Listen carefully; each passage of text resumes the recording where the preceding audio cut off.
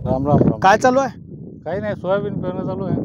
बैलानं? बैलानं बैलानं. काय कारण? सोय ट्रॅक्टरनं का नाही? ट्रॅक्टरनं बैलानं जरा थोडं व्यवस्थित होते. आणि बैलानं चांगलं होते. चांगलं होते आणि बियाण्याची बचत होती. बरं कोणती व्हेरायटी लावता? फुले सातशे- किमया. फुले किमया. सातशे त्रेपन्न. पाचशे त्रेपन्न. अच्छा. ठीक आहे म्हणजे महामंडळाचं तुम्ही फुले किंवा सातशे त्रेपन्न घेतलाय. हो. आणि खत कोणतं टाकलाय? आता दाणेदार मधच घेतलं. अच्छा. म्हणजे सल्फर घेतलं तुम्ही की न- घेतलं नाही? सल्फर घेतलं नाही. पाहिजे होतं. पाहिजे होतं. बरं बरं. म्हणजे काकाची इच्छा आहे की सल्फर पाहिजे होतं. बैलानं इथं सोयाबीन पेरणं चालू आहे तुम्ही पाहू शकता अशा पद्धतीनं. दोन दिवसापूर्वी पाऊस आला आहे ते. आणि माझे माझे सख्खे काका आहेत संजय भाऊ इंगोले. बुराजी महाराज अ, संस्थानचे अध्यक्ष आहेत. आणि महातुली इथं वास्तव्य आहे महातुली शेती आहे. तर मंडळी त्यांनी जे गोदावरी नावाचं खत टाकलेलं आहे आणि इथं पहा काकाचं म्हणणं आहे की सल्फर पाहिजे होतं मी टाकत असतो दरवर्षी यावर्षी टाकू नाही शकलो किंवा आणलं नाही. तर पहा इथं काय काय दिलेलं आहे तुम्हाला सांगतो.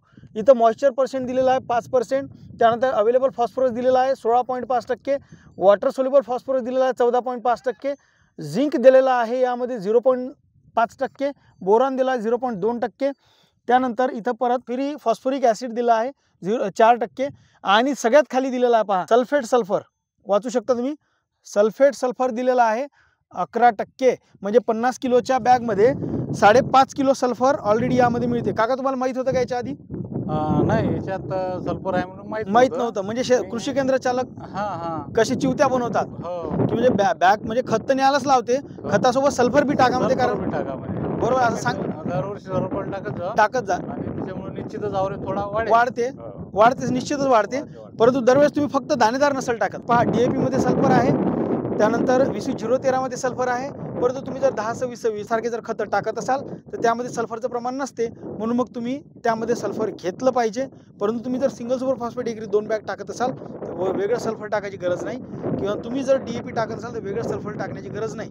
तर मंडळी तुमच्या लक्षात आलं असेल की याच्यानंतर तुम्ही कोणतंही बियाणं लावत असाल कोणतंही खत टाकत असाल तर पहिले त्याच्या गोण्या म्हणजे त्याचे पोते जे आहे ते वाचून घ्या. पोत्यावर दिलेली इन्फॉर्मेशन क्लिअर वाचली पाहिजे. कोणते अन्नद्रव्य आहे कोणते खतं आहे हे सगळं तुम्ही वाचून घेतलं पाहिजे.